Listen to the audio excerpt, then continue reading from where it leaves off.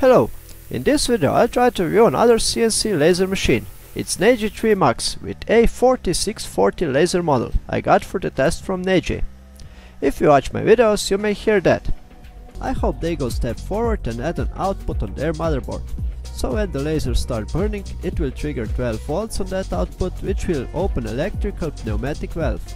About half year ago I wish that NEJE put some output on their board to trigger an air assist valve. Well, NEJE go not only one, but three step forward and beat entire competition again. But let's start at the beginning. Here I got NEJE 2 Max into box, and here is NEJE 3 Max. Box is same size, but it's 1.3 kilo heavier. And when we opened them, we saw what we already expected from NEJE. Amazing packaging with super protection, because every component is in its own place into sponge, so it's harder to make some scratches or other damage during transport. Let's unbox and check what you got into NEJE 3 Max package. On first view machines looks quite same, but in NEJE 3 Max we have many more parts. First thing I notice is an aluminum L profile for cable chain, so you can manage cables like a pro. Frame is made out of 15 by 15 and 15 by 30 aluminum extruded profile, just as NEJE 2, but almost every part that was acrylic on NEJE 2 is now made of aluminum. Nicely machined aluminium. Just look at all those chamfers. And there's more stickers with tips where and how, so assembling and using that laser shouldn't be a problem even for beginners. Okay, so here we got pre-assembled right Y-axis with carriage, motor and belt. Front and back part of the frame with aluminium legs. Pre-assembled left Y-axis with aluminium carriage, motor, cables and of course motherboard and here is pre-assembled X-axis with motor, belt and cables. X-axis carriage is also an AJ3 made out of acrylic, because force here is quite small, but it's much lighter than aluminium, so we can reach faster moves and accelerations. Here is some comparison between NEJE 2 and 3. Not only they changed acrylic parts with aluminium, they also added screws for precise setting wheel backlash, and the edges isn't sharp anymore, but nicely chamfer. Then we got here two cable chain about 60 cm long for X and Y cable management. Amazing A4640 laser model I already tested with attached air assist steel tube, holder and tool. Then we got here three new amazing add-ons for the NEJE 3. First one is as they called door button, but I would say not house or emergency button. Here we got electromagnetic air valve, it's amazing add-on so we can automatically turn on and off air assist while cutting with the software. Besides we get also some 4mm tube and coupling for 4 to 6mm. And the last add-on is a relay we can control by the software. It can be quite useful to power on ventilation system, compressor, RGB LED or whatever. Relay is an additional housing with cable terminals and we also got two pieces of wire with connectors with it. And then we got some classic stuff like manual and some special soft and quality USB cable designed for cable chain. 12 volt 5 amp power supply, this time a bit bigger version. Red protective glasses. And a bag with screws, zip ties, screwdriver and so on. NEJE 2 Max we assembled with only 6 screws. Well, with NEJE 3 Max we got 8 bags of screws and nuts. And the last is back with some sample materials, like solid wood, plywood, cardboard and plastic sheets. Let's assemble the machine now. Assembling is just as simple as NEJE 2 Max, with only 6 screws we assemble entire machine and it's some kind ready to work. Also assembling cable chain and other add-ons isn't a big deal, but paper manual can be a bit short, so go online where you got manual with many more details about assembling.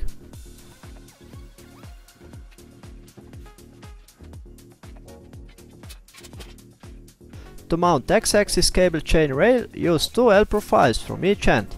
We need to be careful only about one thing here. Aluminium rail got chamfered hole only on one side, and that side need to be at right back corner, so the chain won't stuck into screw head. Then cut zip ties which hold the cables and unplug it from the motor. Then screw the cable chain holder on X-axis carriage. Before we manage cable through the chain, make sure we got chain turned on right way. One way got limited move, That part come mounted on X-axis carriage, so the chain can't go higher. Then I use a piece of electrical tape to get air assist tube through the chain together with the cable. One end of chain screw in the middle of aluminium rail and other end to X-axis carriage.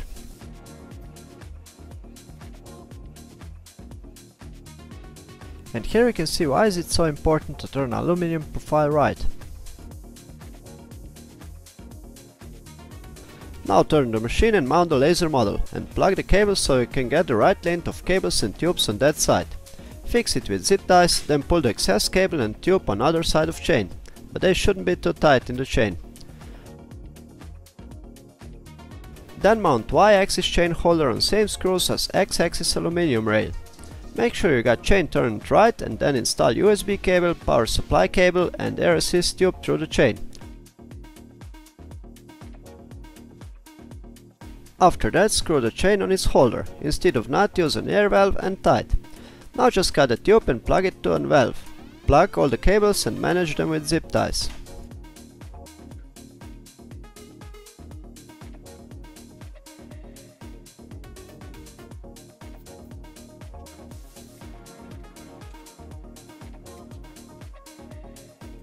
Air assist valve plug to M8 connector. M7 connector is for relay and door is for emergency button. I don't plug them for now, but we'll test later.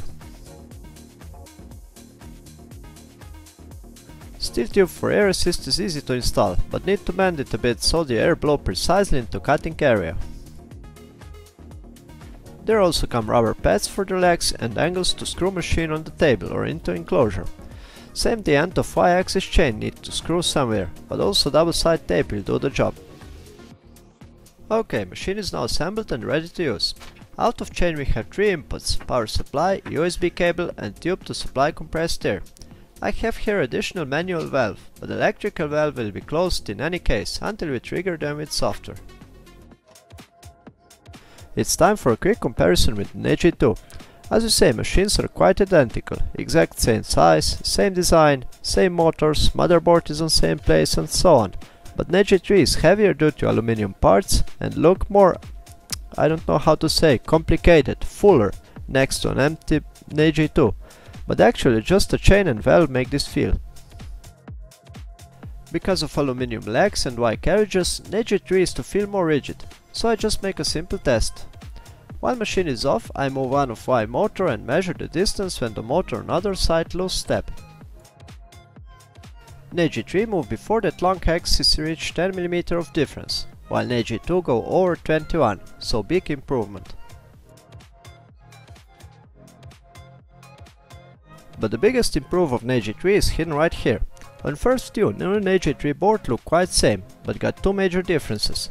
There is only one microcontroller for NEJE and GRBL mode. That means that machine now also in NEJE mode work on 32-bit, and second difference is two output and one input connector, or the gold, so we can plug the air assist valve, relay and safety button. It still got movement protection, bluetooth and so on. The only thing we lose so far is offline mode. The front button is temporary only for turn on and off the machine, which is useful because motor on NEJE 3 hold the position right after we turn it on. But NEJE still developed this button as custom type button. So far I don't know more, but maybe also offline function come back. Now plug the power supply and USB cable to a PC. USB cable go through the chain, so it may be a bit short and you'll need an extender. First of all go to NEJE wiki, tap NEJE 3 and download and install driver. Then download and open the app. It will instantly remind you to update machine firmware. They simplify the process, so they integrate firmware uploader into basic app. When updating the system firmware I got some timeout errors, so I removed my USB extender but the error was repeated. But when everything restarted say up to date and everything seemed to work fine. So flash also NEJE and GRBL firmware without errors this time. NEJE app is quite similar as it was. We got here info from machine, control tab, photo tab and so on. Biggest difference is in settings menu. Here we can set the sensitivity of tilt protection and idle laser power. Below we can set the starting position of laser and on the right side we can set functions of outputs and their delay of turning off. Below also add some firmware settings like working area, speed and acceleration of each axis, so the board can be useful also for some DIY projects. You may notice that there is missing really important CNC tab. NEJE software is under major update, so temporarily doesn't offer CNC cutting, but NEJE developed team will fix that soon, since they're very active. Only in time I tested this laser, 3 new versions of softwares come out. If I try to connect with Lightburn it only say machine isn't in GRBL mode. So before connect to Lightburn we need to open NEJE software and close them so it asks us what to do. We need to choose close and switch to GRBL mode. That's because only one microcontroller, and that setting will be active until we open NEJE app again. NEJE prepare machine to Lightburn very well. Everything work as it should. They also prepare manual and how to set up. But the only settings I need to change is working area size, which is amazing. Idle power of laser in GRBL mode was way too powerful. I got some old version of Lightburn which doesn't offer to change that function. So I open Laser GRBL and into firmware settings change $40 from 0.5 to 0.05 which is enough to set focus and doesn't damage any surface. Let's test now the door or safety button. Machine works just fine without it, but if you want to use them just plug it to door connector, that's it. Into NEJE software it works instantly. When we activate them, machine instantly stop and app display the alarm. There are notes that the door button doesn't work into Lightburn, but for me it worked just good. It instantly stopped the machine and it also messaged the alarm, check door. But the truth is that the Lightburn can freeze when we push the door button. If we reset the door button and click stop button so the laser isn't busy and then homing it will work every time. What about the relay? Firstly I open the housing to see what we get. There are just a relay to trigger it with laser software to start some ventilation system, compressor and so on. There are three cable terminals, but be careful because only plus or line is switchable via relay. N and E terminals are just bridged. We can switch literally everything with it, depend on what kind of supply we bring to it. We can switch a tiny LED or a ventilation motor. Relay says it can handle up to 10 amp, but if you use it for some powerful ventilation or even a compressor, I would use it only to trigger bigger relay or even the contactor, like I have here which easily switching 3 fast 11 kW motor. Okay, so far everything works smooth, so I set focus and make some tests. This time I also got a few pieces of honeycomb panels, which I got from kind viewer who noticed I don't own them. So once again, big thanks Marian. Cutting results are much better with that panels. After first test I noticed that Lightburn make darker edges. This is due to acceleration and deceleration of x-axis. To avoid this effect simply apply over scanning for a few millimeter and annoying effect will gone. Then I tried to make some engraves and notice same thing as every time. Quality of engravings depend on speed of engraving, no matter how fast the machine is advertised. And still think that NEJE software makes better grayscale engraves, plus we don't need a PNG files. Here are some examples. I already tested this laser, so I won't go into details. This laser is suitable for cutting, but as we can see it also makes some engrave. I still got in plan to make video about all the laser models, so more about in that video. Then I tried to make some cutting. A4640 is extremely powerful model and can easily cut 10mm per suit, 20mm is on the limit.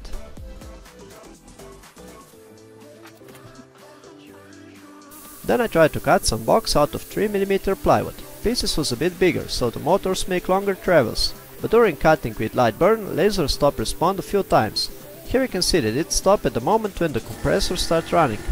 Light Lightburn stay busy, but the laser don't move at all, laser still cut with set at power. I thought it was my shitty old USB extender, so I buy a new a bit better one, but it doesn't help. After just a few click on Google I found that it may be a static electrical problem, and all I need to do is ground the laser model and rails as it got Ortur engraver. So I take some 0.5 square millimeter wire and some tools to ground some component. I complicate it a bit, so I go with wire through the mesh as the other cables, but still need less than half an hour to done the job. I lose many pictures during transfer, so I hope you can see how I ground everything. I start with cable on laser model, go to x-axis motor and chain holder. Through the chain on left y-axis motor and from there solder wire to negative on motherboard. So I got grounded some elements. Mainframe and right Y motor still isn't grounded, but look like I done the job right because fail was never repeated again, even if I used USB extender. After that simple modification it can cut big area quite fast without any issue. So I tried to cut some box out of 3mm plywood, which was cut in a single go. That A4640 laser model is really amazing for cutting. Then I tried to make some engrave on raw inox steel. Engrave is quite good, but factory settings of focus on A4640 model is for cutting. Now I'll try to set it for powerful engrave. Firstly remove air assist and then with big screwdriver unscrew the lens. Factory settings is exact one turn unscrewed for fully tighten. Now I'll unscrew the lens for 5 turns, so it got about 2.5mm gap between lens edge and aluminium housing. Focal length is now much closer, so you need to lower down laser model closer to material you want to engrave to get right focus, so you can't use that type of air assist in that settings. Also set right focus in that mode is much harder, because just 0.1mm make a big difference, so I just engrave some lines slowly and set focus while it engrave. You can hear the power, so sound will tell you when you get perfect focus. Engraved dot is now much smaller and more energy is focused in a smaller point, so it engrave more powerful, but only on exact point. When we're changing focal length it quickly become bigger. That's why that settings isn't good for cutting at all. Here you can see quite big difference, and when I set engraving line to every 0.05mm difference was even bigger, which is bestly seen under microscope. It makes solid engraving to inox, and engrave can't be wiped or scratched. Then I tried to engrave also on anodized aluminum plate, and even here I got best results ever. So I tried to make smallest readable engrave. 2mm height text is nicely readable, and also 1mm. 0.8mm is on the limit, while 0.5mm become unreadable. And here we can see, if we set focus so the point is square, they are not as power as we set focus point shape a, a bit rectangle. Here are two engraves with exact same settings. Only difference is that on upper one I had dirty lens from wood engraving before. So after engraving wood, don't forget to wipe lens with a q-tip. You can hardly see a grey dust film over the lens, but it reduces laser power more than you think. So if you feel that your model isn't as powerful as it was, try to clean the lens firstly. After a few tests, belts become a bit loose, which is normal for new belt. So all I do is to loosen front screw a bit and tie the belt to the pliers for one teeth, because we only can fix belt on each teeth. But with new belt tensioner you got with the machine now, we can tension the belt easier and more precise. I almost forgot to mention about the app. A new phone app for NEJE 3, now also available on Google Play, so download and install is even simpler. There are no much difference, it offers us to engrave photos out of cloud, out of phone or take any shot taken with the camera. We can set a photo, set size, set text and so on. Everything works smooth as it must. That's about it for today. I didn't review everything because I don't want to repeat myself, but only want to expose improvements from NEJE 2. If you want to know more, check my NEJE 2 Max video and video about A4640 laser model. I really love the air assist valve on NEJE 3, which open air just in time we need them and then close, which save us lot of noise and compressed air. I hope you got some new information about NEJE 3. All I can say about is that NEJE hit right to the point when they add their assist valve, relay and emergency button. Not because I got free sample, but honestly I think that NEJE 3 is far the best laser in that price range. I think it's also the only laser with air assist valve. Adding chain is another plus, so we need less space which is great to run them into enclosure box with automatic fan of course. And that's not all, we can buy extension kit and very simply extend the working area to amazing 1030 by 810 mm, which is great for some balsa model cutting. And the best part of everything is that they sell them for same price as NEJE 2, which is hard to believe, but we can get that machine from $400, depend on laser model we choose. This is one of first model of NEJE 3, so I really miss the Z-axis height adjuster. But if you buy now you get them with the machine. Plus they add you a 3 better and more precise belt tensioner and aluminium air assist kit. All that but the price is still same. For more information about the machine, exact price and order, check below into video description for my affiliate link to NEJE store. If you buy from that link, price for you stay the same, but I can get a piece of cake, so thanks for every order. I hope you like watching the video, so like, share and subscribe and see you next time.